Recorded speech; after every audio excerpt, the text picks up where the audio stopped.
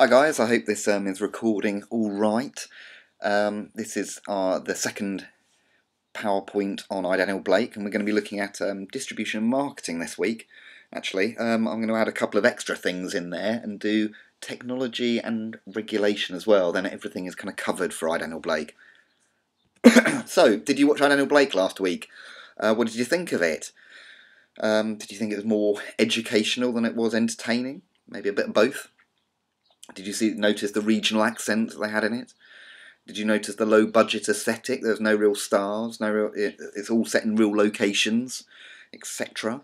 Um, did you sense the political ideologies within the film? It's a very political film, so I think you probably would have. Um, did you see that it's not really a mainstream film? The ending, I think, you, will give you that that impression. It's um, a very sad ending. It doesn't doesn't end like a normal mainstream blockbuster. So in this PowerPoint, we'll be discussing, I think I've said this already, distribution and marketing, but also technology and regulation as well. I forgot to say that. So distribution.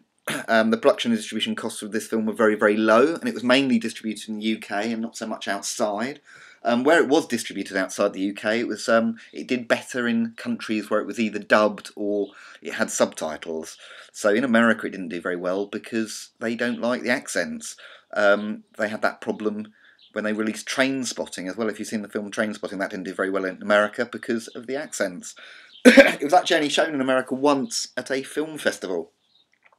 Maybe if you watch the film, um, you'll see how the production styles and the narrative and the themes limit it to a bit of an uh, mainly an audience inside England, or an English audience would be the way to say that properly, Alex.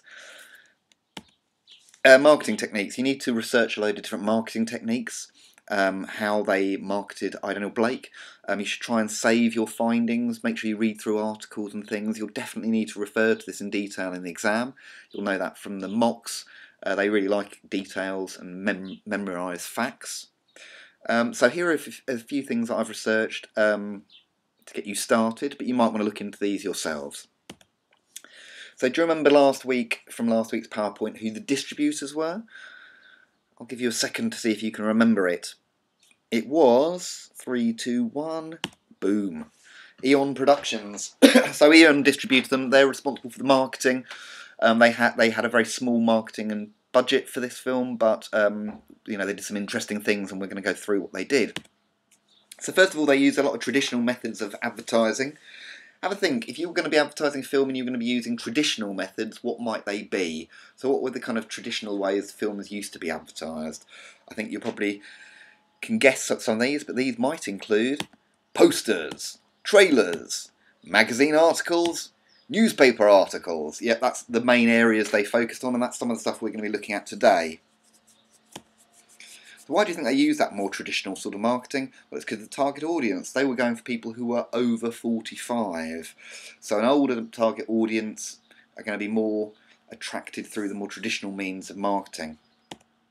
Here's some of the posters. Um, we can have a look at these individually and give them a little bit of an analysis. If we look at the first one there, we've got the, the working class sort of uniform he's wearing. The It's uh, the, the woolly hat and the kind of coat signifies the working class. The hat, the pose, the hand up in the air. Um, we're going to look at that sort of hand up in the air pose in a little while.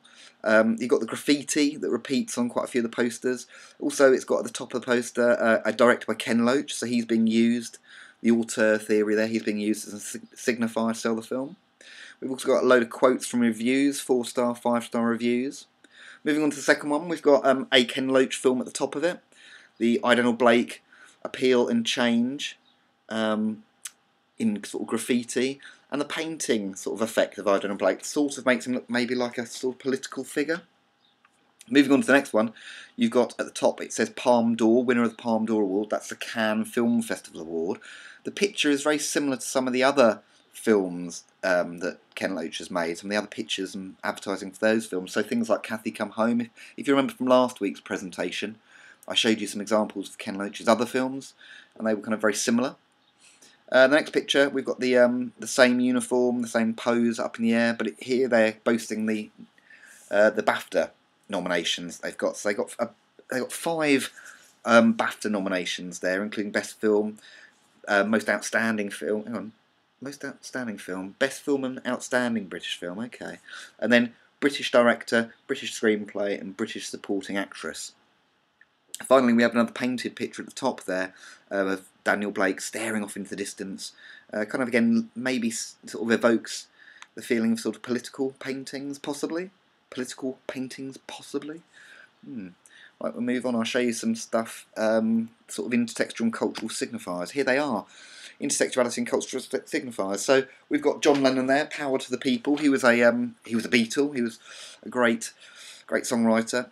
Um, and he did a lot of protest songs, so like "Power to the People," "Power to the People," right on. That's the album cover for it. There, the, the fist signifies sort of power to the people. It's used as a sort of um, protest sign of protest. We see it again there. All power to the people. You've got a picture of Che Guevara there and a picture of Obama. Those sort of political images, um, those, those sort of painted images, are sort of reminiscent, maybe a little bit, of the I Daniel Blake posters. Possibly, possibly. What do you think? Maybe. So next, um, here we have the uh, the Daily Mirror article. If you can actually, if you look, it's um, it was a few different newspapers that were all from Reach PLC. So you remember that from the newspaper stuff we studied and from the mock exam. Um, but they all had articles in them that were alleged, well, that were supposed to be written by the character of Daniel Blake. Look at how the Daily Mirror has replaced the eye with a, a kind of graffiti eye, and then you've got the all of the different papers have the same banner. Um, I Daniel Blake need your attention. Look inside for my column. On the right hand side, you've got the article there. Um, you can see the graffiti at the top and the bottom of the page, the style, um, the kind of the hand in the air kind of image, sort of repeated twice at the bottom of the page, and then in the screenshot, you've got the police arresting him, um, which obviously conveys sort of a, a, theme of the film. And then he's in a pose. I think he's actually waving, but it does look similar to that hand in the air pose. And then the headline, The system failed me, it could fail you too. Guardian also gave it a five star review there. Um, so both The Guardian and The Mirror are really the only uh, newspapers that are left wing. Uh, that is a very poor quality. That's not 4K, is it? That's very poor. Um, but yeah, they were the only they're the only real left wing papers, and they both supported the film quite well. Um, the big issue is a magazine, and it's very left wing. Obviously, it's a Help the Homeless magazine. We'll be studying that in the second year. Um, and it's featured a lot about Daniel Blake as well. So, has this film just changed the government's mind? Well, spoiler, no, it didn't. They carried on with their terrible actions.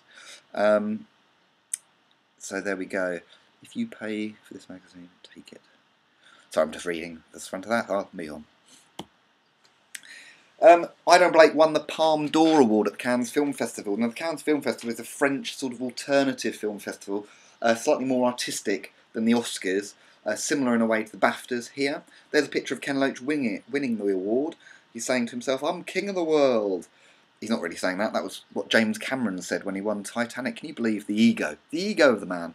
I think Ken Loach is just happy to be winning there and well deserving. They use that, um, the fact that he won that award in the advertising film. So winning awards will help promote the movie.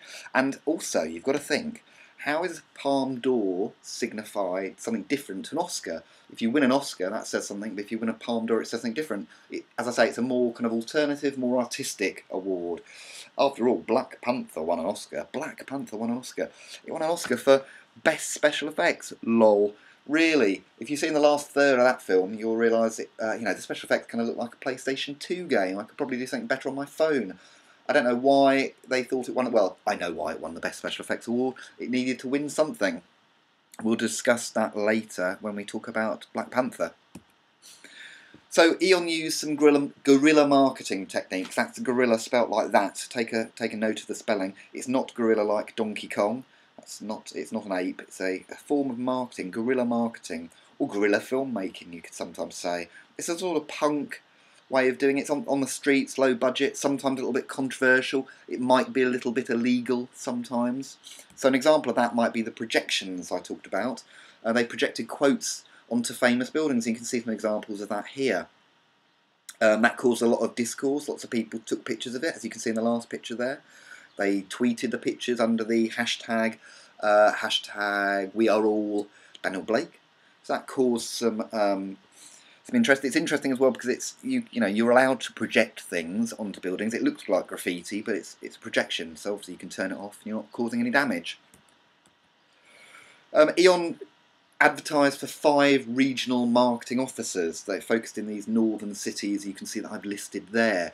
Um, the work was contracted for 20 days and they were paid uh, two and a half grand. And what they had to do for that was they had to visit different locations like hospitals, police stations, um, schools, council buildings, lots of areas that sort of um, public service people work in and maybe left left leaning people might be working in, and they sort of talked about the film. They they promoted the film. They handed out flyers. They posted up flyers, which is actually can be illegal in some places. And outside the cinemas where they were showing it, they stood with campaign signs saying "Vote the Tories out" and stuff like that. So they kind of gave the illusion of a, um, a protest outside the cinema. Again, it's like building awareness and it's building kind of um, discourse, creating a story. Interesting stuff. Think Curran and Seaton. Think how Curran and Seaton challenge. No, sorry. Think how this film challenges Curran and Seaton's theory. Curran and Seaton said the majority of the media was created from a position of power and profit. That's all they care about. Well, I don't think that's true of this film, is it? I don't think it's true of what they aim to do. They didn't make a film to try and make the biggest profit possible. Um, I said that there was a hashtag We Are All Daniel Blake. Um, there was also a viral campaign. If you go to the YouTube channel We Are All Daniel Blake, you can see all of this. Um, there's a speech at the end of the film, and different people were said reciting the speech, and it's sort of edited together. So we all, you know, lots of different people are saying the speech, thus sort of proving the point that we're all in this together, and it could happen to anyone. And it, was, um, it was mostly sort of, you know, the public, but there was also a couple of celebrities in there saying lines from the speech, and I suppose notably Jeremy Corbyn. I think you should check it out on the YouTube channel. So check out the We Are All Daniel Blake YouTube channel. It also shows you a video of people reacting to the promotion, the the projected promotional material uh, in the street. So it's got like their reactions films. Kind of interesting. Check it out. The premiere is a good way to uh, promote a film, and the premiere for I Daniel Blake was quite different to normal premieres. So most English premieres will happen in London. This happened in Newcastle, where the film's set. Um, and look, these are pictures from the premiere. They don't look like a premiere, do they? There's people holding placards and protest signs.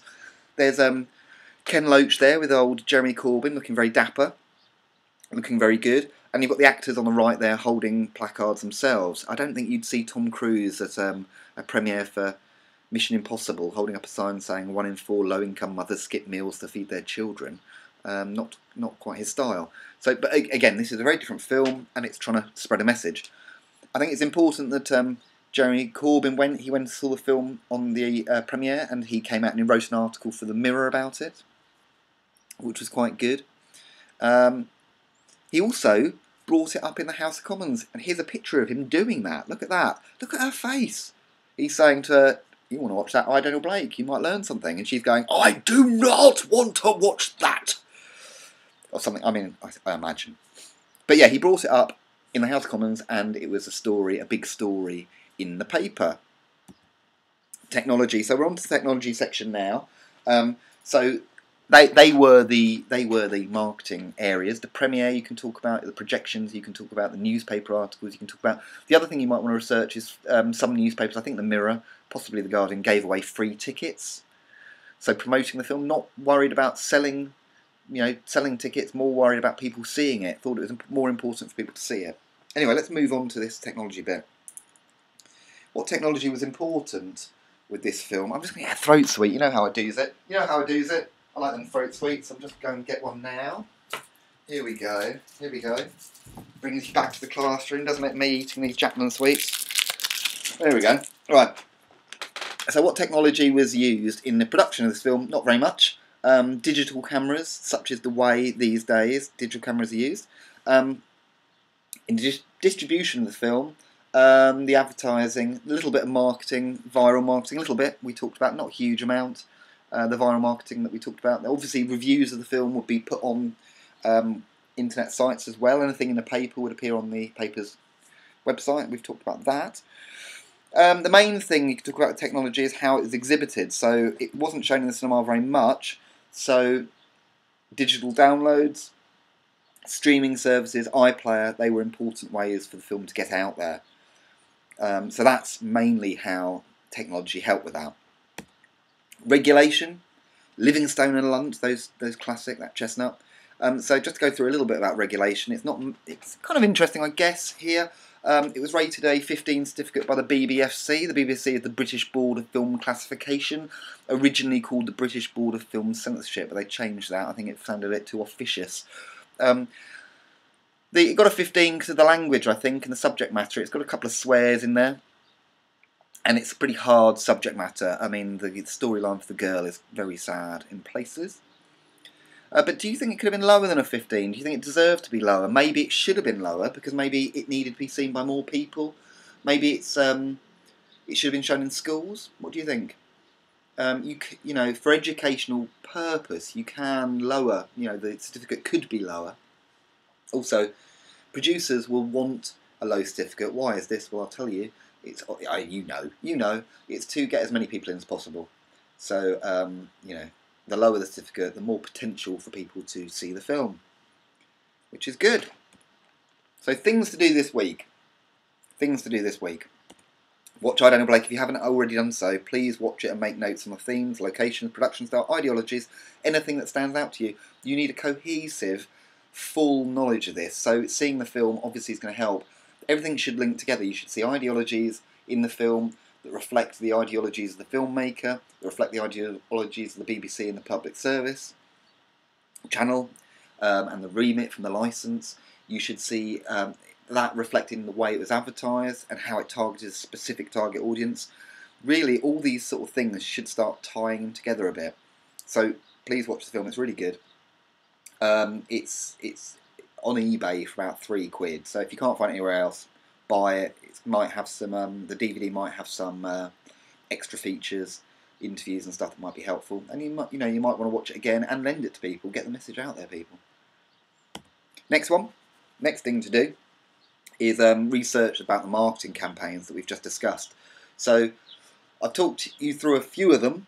Um, it would be very good if you could research those yourself. If you want to go back and watch again and make notes on the ones I mentioned about. That's good, but you know you should Google them, you should search them. Um, you know, read the articles about the, how successful the campaigns were. Um, the devil is in the details when it comes to this exam, as you know. So please do that. Um, that is it for I Daniel Blake. Um, we're going to do a little bit on Black Panther over the next two weeks, and then we need to write an essay on an exam question on these two films but we have studied all the salient points. Um, so, you know, go back over this. There are notes on eBrock that you could read as well. Um, but we have covered everything, and um, I will be setting you a essay question on this in a couple of weeks' time once we've done Black Panther, and I'll give you an essay guide as I always do to help you through it. So that just leaves um, me to say. Oh, one other thing I want to say is um, I don't know if you remember me showing you uh, Charlie Brooker in class. I showed you a couple of clips from Screenwipe and Gameswipe. We watched that Games video.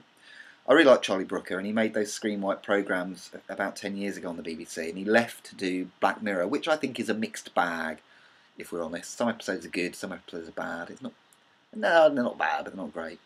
Anyway, anyway, because of the coronavirus, BBC has tempted him back to the BBC, and he's made a special, one-off special called Viral Wipe that was on telly last night.